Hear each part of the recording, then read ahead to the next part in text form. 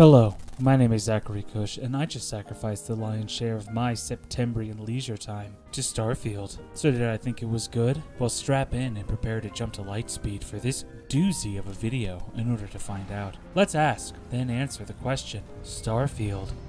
Is it good? Before we begin, it might be prudent for me to share with you my Bethesda backstory and my Bethesda bugbears. The former shall provide critical context, which those of you who saw my Elden Ring video know is kind of a big deal to me, as well as an overview of the various problems I have historically leveraged against Bethesda's various games. So please, settle in for my Bethesda backstory. At the exact moment in which I am typing these words into a Google Doc, I have played three Bethesda games. Fallout 3, Skyrim, and Fallout 4. Fallout 3 came out in 2008. In 2008, I was a 14 year old boy who had spent the majority of his preteen years playing Final Fantasy VII, Final Fantasy VIII, Final Fantasy X, and Chrono Trigger. Then, in 2008, I was hanging out with my friend John, who had rented a little game called Fallout 3. I recall friend John in the courtyard of the Galaxy News radio building, sporting a red baseball cap, blaring 40s music over an in game radio, and launching a tiny nuclear device at a big, raging monster. This was all the information I needed to know that this was the game for me. Fast forward to 2011, and I'm a high school senior when Skyrim comes out. Like many of you, I lost many an hour gallivanting around the world map, doing quests I don't remember, and knocking objects off of tables. Fast forward again to 2015, and I'm a college boy who had just spent 8 months saving up money to buy his first ever PC, upon which I will spend 140 hours of a 168 hour week playing Fallout 4. My opinions on each of these three games are very similar, though it would take me two whole video essays to explain the minutiae. For the purposes of this video presentation, which I promise you is still about Starfield, I shall present the following pithy opinion morsel. These games are masterclasses in open world design. The amount of hours of my life that I have put into just walking around in these games is staggering. I could have used that time to learn how to play the cello, or get a girl to fall in love with me. I know they all have fast travel, but I never use it, though I will admit to employing the carts and utilizing the helicopter feature in Skyrim and Fallout 4, respectively. So strong is the world design in these games that it is enough to support the entire experience for me. Seriously, no other game studio makes worlds that I want to wander as well as Bethesda. And it's a good thing too, because in terms of like narrative design and gameplay, Fallout 3, Skyrim, and Fallout 4 are mediocre at best, and buckets of trash at worst. So, where in this trend fits Starfield? Is it a bold step towards a new golden era, a middling crawl through mediocrity, or a big crunch disappointment? I shall answer this question, dear viewer, with the following topical list 1. Bugthesda. In anticipation for this game, as well as hoping to redeem myself for my 30 frames per second Elden Ring video, I purchased an AMD Radeon RX 6800 XT graphics card as recommended by the game's Steam store page. Three days into my playing experience, the game murdered my CPU, so I purchased an Intel i5 10600K central processor as recommended by the game's store page. And wow, I know Bethesda games are notorious for their bugginess, especially at launch. But does this game chug like an insecure freshman at baby's first fraternity party? Aside from the usual stock of stutters, animation glitches, and the game quietly crashing behind loading screens when it didn't just flat out crash, my favorite recurring glitch reared its ugly head whenever I endeavored to talk to an NPC. Upon initiating the conversation, the game would usually throw up in its mouth before the avatar would stare at me blankly as words echoed from the heavens. The NPC then would silently mouth those words before the conversation could continue. You feel it a bit, can't you? Ever since I found the second one, I'll at the visions, really important stuff being around them is just comforting. So hey, I- I'm still not a hundred percent. And this was happening with literally every NPC I spoke to, and with the game's recommended hardware. On the bright side, I can now run Elden Ring and Death Stranding at a silky smooth 60 frames per second, and I can get the Final Fantasy VII Remake to 90, which is great because those are all games I'd rather be playing. Seriously. This game is a buggy nightmare and desperately needs a carpet bomb of patches to make it stable. This has been a consistent problem with Bethesda games at launch, and it only seems to be getting worse. At least I can run Fallout 4 at a constant frame rate now, even with all my mods. So perhaps Starfield shall sustain such stability 10 years hence. Number 2. Spaceship. Much as I suspect many of you from the primordial emergence of consciousness, I have yearned for my own spaceship. More specifically, I've wished for a spaceship that was also my house. From the Millennium Falcon to building spiritual successors to Millennium Falcon out of Legos, to the Ebon Hawk, to the Normandy, to the other Normandy, to FTL, to the Unreliable, I have dreamed possessing a spaceship, flying that spaceship around in space courier missions, and inviting a variety of buds to hang out with me on my spaceship where they sit in chairs looking like they're doing something important, or they just stand around with their arms folded because they're doing that on a spaceship.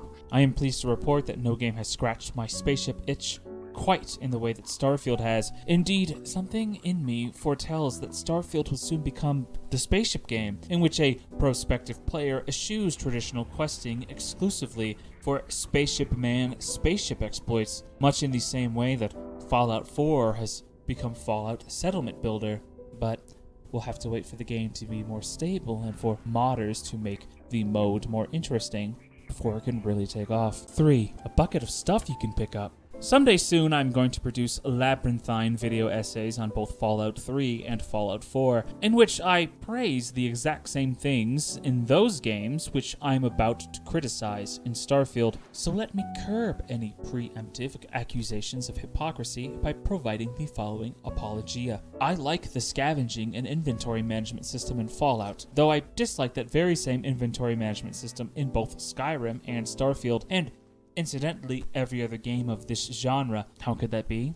Well, the Fallout games take place in the post apocalypse, where nary a mason nor architect has been born in 200 years. People live in trash, and they build their homes out of trash. The most reliable food source available are two century old packs of junk food. You can't even walk down to the Potomac to enjoy the setting sun over the water without a band of vaguely sapient ruffians appearing intent on your murder. You have to fight tooth and nail for every advantage. Modern Fallout is at its most interesting when you're scrambling, when you're frantically picking up enough trash to sell to a dispassionate chem vendor so you can afford a stim pack, when you're scrounging the bodies of the dead under fire because your gun broke or ran out of ammo, when you're running crippled through a metro tunnel, duck into a bathroom, and desperately drink water out of the toilet because you need health now and you can deal with the radiation damage later. This works doubly so for Fallout 4,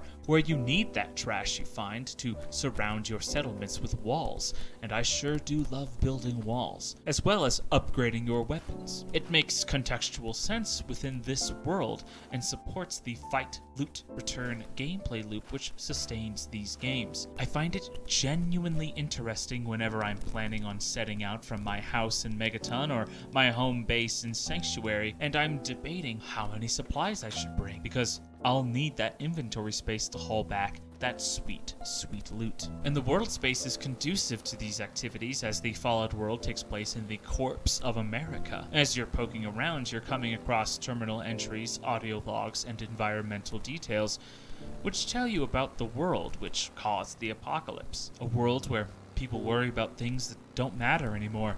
Drop proper nouns like China and communism, which have meaning to us in the real world but are rendered meaningless in this world, and our world could all too easily become this world. All these systems work together to reinforce Fallout's themes. The world space, traversal mechanics, and inventory management each represent the waste that the Great Nuclear War represents. In Fallout, your forebears destroyed the world over petty, insulated worries, and now you're left to pick up the pieces. It's great. These systems still exist in Starfield, and yet they don't work for me because they're not supporting anything. Wandering around Starfield's samey fields and samey Mars based planetary settlements has made me realize that so much of Fallout's greatness is derived from its setting. The absence of exploratory interest staggers me, as without it I realize how much of the universe is dead empty space. I love reading about the old world of the Fallout setting, but I also must accept that those games have the benefit of having real life write much of their world lore. When Bethesda must design a world without the assistance of real life, they fail to capture me. Maybe it's because the Elder Scrolls feels like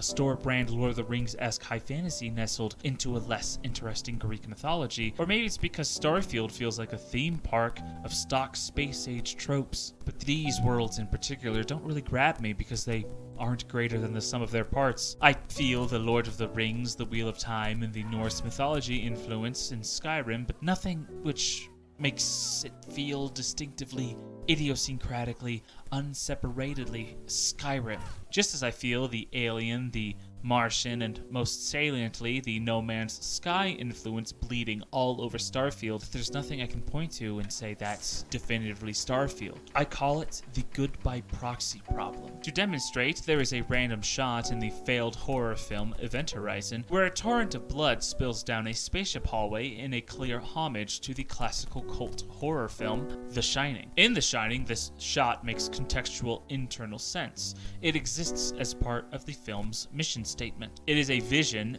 Danny is experiencing, contextualized by all the other wacky stuff he's seen and now the audience is seeing, and it fits with the surrealist, abstract horror that the movie is going for. In Event Horizon, this shot exists because it was in The Shining. And The Shining was good. And hey, if we put some stuff from The Shining into our horror movie, then our horror movie will also be good. Good by proxy if you will. Starfield is a game world built entirely out of this problem. And while this problem does exist somewhat in Bethesda Fallout games, that series has strong enough themes and aesthetics that it can make such moments feel like Fallout. Fallout feels like itself because all of its elements are united behind a narrative, thematic, and demonstrative purpose. Starfield doesn't feel like anything because all of its elements are sealed away in different boxes, which don't interact with each other in any interesting ways. Speaking of boxes, 4 a toy box of nothing. Aside from their big, meticulously designed open worlds, Bethesda games tend to offer a wide variety of activities with which a prospective player may occupy themselves. There's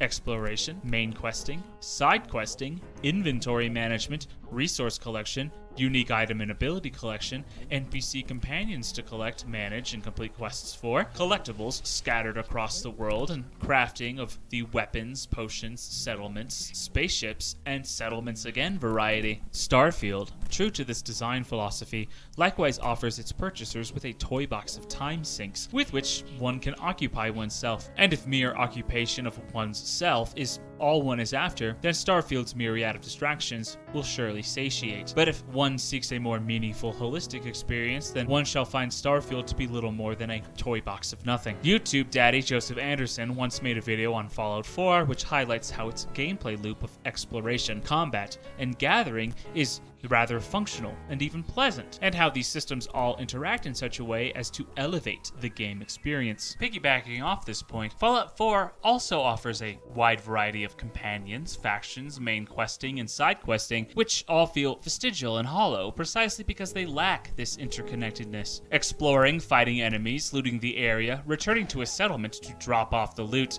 then using the loot to upgrade weapons, armor, and settlement structures, then going off to explore and find some more materials materials is a fun interconnectedness of systems which has compelled me to sink 1500 hours into Fallout 4. And it's made further enjoyable by the fact that it has broader thematic purposes. Fallout 4 is a broken world which I am aiming to repair vis-a-vis the game's systems. It feels good to take my trashed suburban neighborhood and revive it. It feels good to meet strangers in the world and provide them with a new home and a fresh start. And it's a feeling I gift to myself through the act of engaging engaging with the game's systems. Starfield's systems, and indeed many of the other systems within Fallout 4, lack this interconnectedness. Rather than flowing from one activity to another in an organic, meaningful way, one instead picks up one toy, be it questing, exploration, or spaceship building, and plays with that for a while until it grates. Then you discard it for the next toy. And then there's this weird artificiality on display when, say, you do the main quest for a while, get bored, then switch to another activity. The main quest will just sit there on pause until you feel like picking it up again. It saddens me because there's clearly a lot of work and care on display in Starfield, and yet it's all for naught as it doesn't support anything grander or more meaningful. In Fallout New Vegas, all the side questing and companion interactions provide the player with a broader context regarding the major factions, all vying for Hoover Dam, as well as the smaller factions which could help or hinder them. In Elden Ring, all the scavenging, inventory management, and weapon upgrading serve to give you an edge in the game's harsh world, as well as providing permanent progress, reinforcing the game's central themes of perseverance and success against overwhelming odds. In Death Stranding, unlocking and producing equipment, as well as utilizing resources to construct infrastructure, streamlines the courier process and allows you to better navigate the world space to deliver your parcels. In Final Fantasy VII Remake, leveling up, finding and upgrading both your materia and equipment, and garnering rewards from smaller, more insular side quests and helps you progress the story, provides you with a unique opportunity to express characterization vis-a-vis materia loadouts, and allows you to explore, hang out in, and understand more about the fictional world. All of these games systems hold up bigger ideas. In Starfields, there's just like a bunch of stuff that you can do. There are many different systems and activities one can engage in, but they don't prop up an interesting story or provide you with unique solutions to narrative questions or even let you learn about the in-game world in any interesting way. You just kind of quest until you're tired of doing that, then you build your ship for a while until you're tired of doing that, then you fly around the galaxy until you're tired of doing that, then you chat up your robotic crewmates until you're tired of doing that. There's no fluidity or sense of greater purpose. It's just a box of separate toys you can pick up and then put down again. I guess that's better than nothing, but why spend all of this time and do all of this work just to make something that's better than nothing? In essence, to be good enough as to be preferable to boredom, yet not good enough to elicit any further emotionality or reflection, is the very definition of mediocre. 5. The Megaton Problem. In Fallout 3, the first wasteland settlement the player is encouraged to visit is the town of Megaton, a walled off community built around an undetonated atomic bomb. I bring this up because there are two quests in this zone which illustrate both the potential and the recurring problem in Bethesda game quest design. The first of these is the quest Following in His Footsteps, which tasks the player with searching for information regarding their vagrant father. Investigations into Megaton direct us to local sleazeball pub owner Colin Moriarty. Moriarty Moriarty possesses the information we seek but withholds it from us for the sake of profit. We are then given several avenues with which to obtain this information. We can pay Moriarty, run a little errand for him, hack into his computer when he's not looking, for which we can either rely on our pickpocket skills or murder Moriarty for the password. There are even other little touches to this quest as you can sweet talk Moriarty's overworked staff for hints regarding the terminal, and if you run Moriarty's errand to recover money from Silver, you can murder her,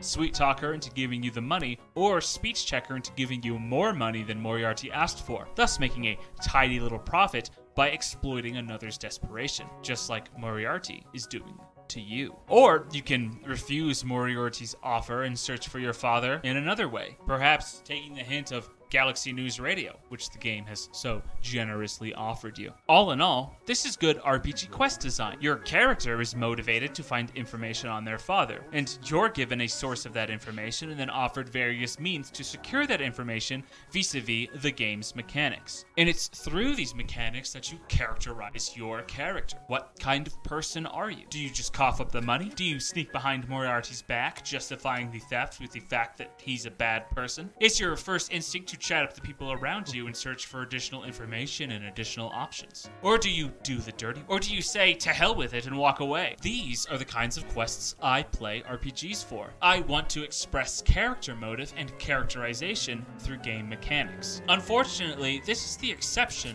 rather than the rule in Bethesda games. Most Bethesda quests are like the power of the atom in which the player is offered a choice. They can either disarm the atomic bomb in the town's center, or they can blow up the town and kill all of its inhabitants. This scenario, of course, elicits several questions. Why do they build a town by an undetonated atomic bomb? Why are they trusting some teenager they've never met to mess with it? Why would you want to blow up this town? Why would the people who want you to blow up this town hire some random teenager they've never met to do it? Why would I, a fresh-faced idiot teenager, mess with an atomic bomb? How would I even know what I'm doing? Did I learn about this in Disarming Atomic Bomb class, the situation is ridiculous. It does, however, come to make sense when you realize that this quest wasn't designed to further the story of the player character in the way that following in his footsteps did. This quest exists to give the player something to do and to offer the player the in game rewards of spectacle and a home base. The fact that the majority of Bethesda's quests are designed around giving the player something to do rather than offering opportunities to develop and define the player character is the source of much of their games' shallowness and vapidity. In Skyrim, for example, with the possible exception of whether or not you decide to murder Paarthurnax,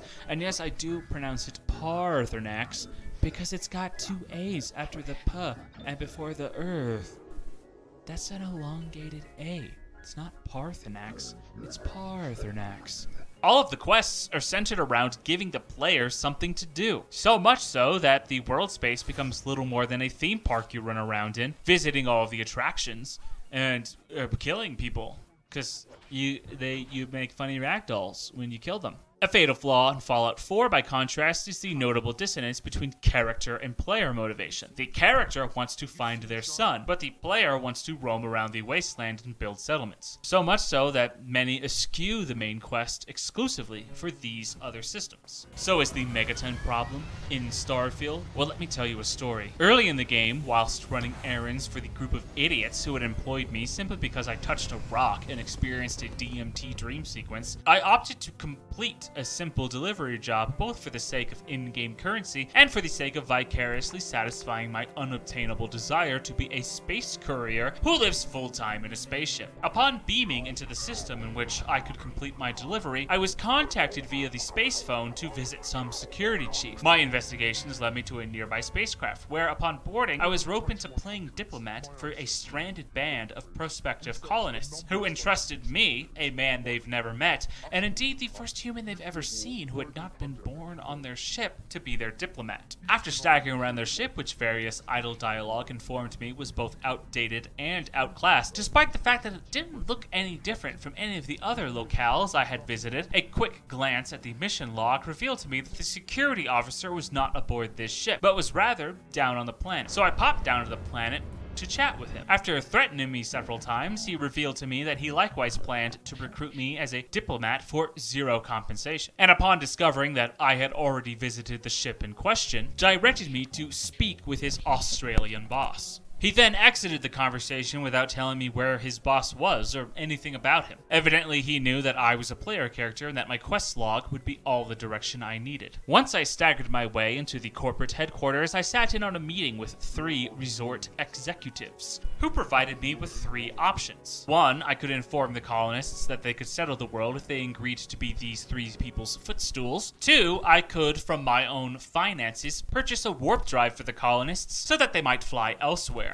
Though, why would I do that? I don't know any of these people, and a warp drive sounds really expensive. Or three, I could just find a way to murder the colony ship. Seeing as none of this was really my problem, and I'm not the sort of guy to just murder an entire ship of what purport to be living, breathing citizens, just to satisfy some corpo's bottom line. So I instead flew back to the colonist ship, hoping for some kind of option where I could say, hey, These guys, they're just a bunch of greedy suits. Just attack them and take over. But instead, the captain of the vessel readily agreed to enslave herself and everyone on board her ship. Then, with the Corporos requesting some kind of materials with which to further build their infrastructure as to accommodate their new slaves, the acquisition of these materials somehow became my responsibility. So I sweet talked the captain into giving me what materials they could spare. Then I jumped into my ship and I flew away, never to return. I assess that this venture is adequate to illustrate the fundamental problem I have with Bethesda quest design, especially how it exists in Starfield. On paper, this quest is intriguing and endemic to the setting. What would a planetary settlement do if a spaceship of colonists showed up hoping to settle their world? It's an interesting situation, let down by the vapidness of how it's handled. With this quest, Bethesda isn't trying to develop their setting or express a theme or even allow us the chance to express something about our character. It is instead there to give us, the player, something to do. We, the player, are tasked with playing diplomat because someone at Bethesda heard that players like doing things like that. We're giving three choices on how to resolve the conflict because Bethesda heard that players like making choices in games. And the more choices we get to make,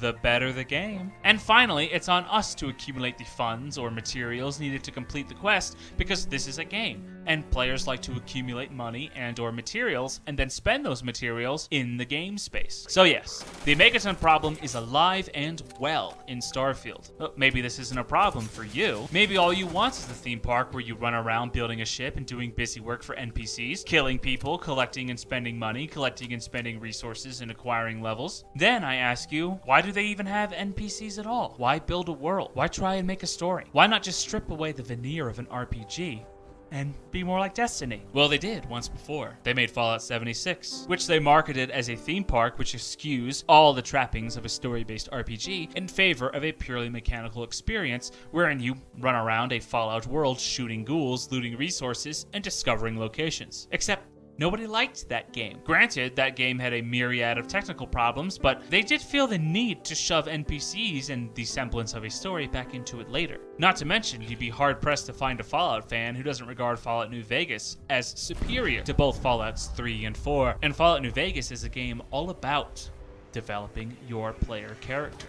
It's a shame that Starfield is not. Number 6 A Universe of Menus. As I stated earlier, Bethesda's unparalleled skill at designing traversable, explorable worlds is the main appeal of their games for me. And they are so unparalleledly skilled at such things that I am willing to stomach their games' is myriad of other recurring problems. Starfield, however, takes place in space, and space is a difficult place to render into a traversable world. So instead, in Starfield, you navigate the world with menus. To travel, say, from the Lodge to Mars, you have to stagger through the city of New Atlantis to your spaceship, sit down at the pilot's seat, trigger the takeoff animation, then navigate to the star map in the menu, select the system you want to go to, watch the traversal animation, arrive at the system, navigate to the menu again, select the planet, select the part of the planet you want to land your ship upon, watch the landing animation, then select exit ship. And you have to do this every time you want to go to a new planet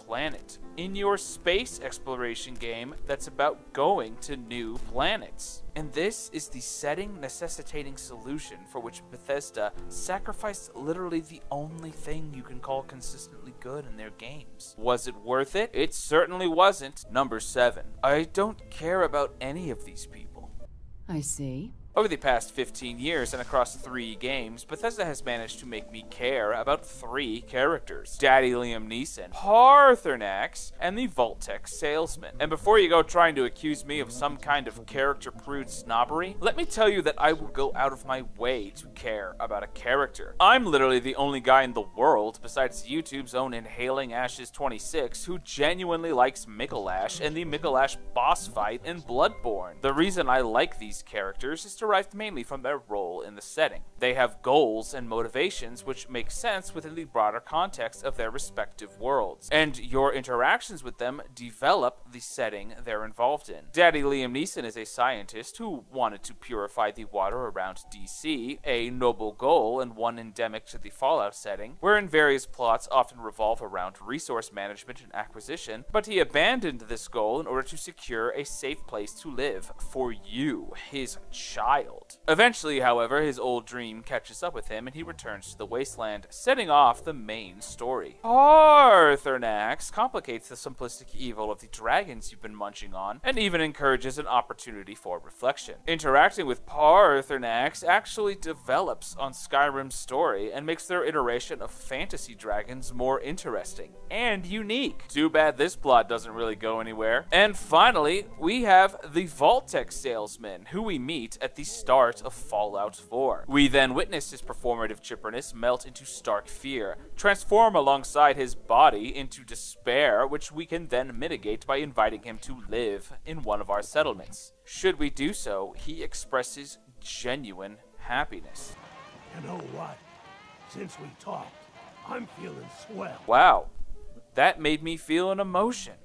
Gold star, Todd. Unfortunately, most Bethesda characters don't get to make narrative choices, develop the setting and central conflict, or even go on little emotional journeys like these characters. Most Bethesda characters are pure function. The Megaton problem extends to the people who inhabit these fictional worlds. They have no life or personality beyond their role as companions, shopkeepers, enemies, or exposition dispensers. Most, if they have any personality at all, have one note personality and even the dullest of music appreciators know that a song needs at least two notes to be interesting. I did earnestly try to engage with Starfield's stiff, robotic denizens in my eternal quest to feel emotions before I am rendered a corpse. But their stark artificiality grated me into dirt dust. Eventually, with my sincerest attempts exhausted and yet my mammalian instinctual drive towards companionship forever present within the abyss of myself, I opted to abandon in-game human contact exclusively in favor of the walking Mars rover robot. For at least, said I, this robot's roboticisms make contextual sense. So, if this game doesn't have good world design, and it doesn't have good quest design, and it doesn't have good character design,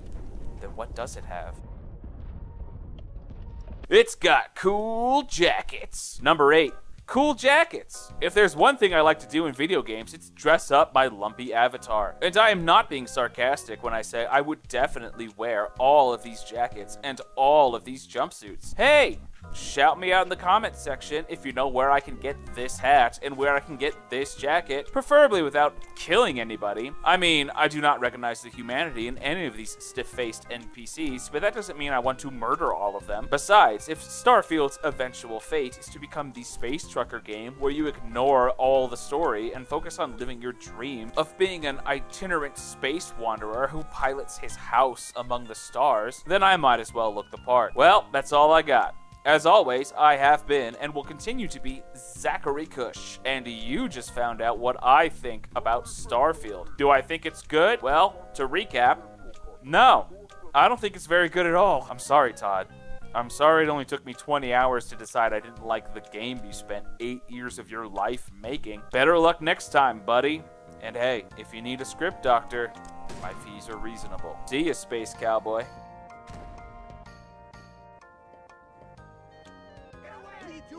Save that for the bad guys. I'm not gonna be part of this.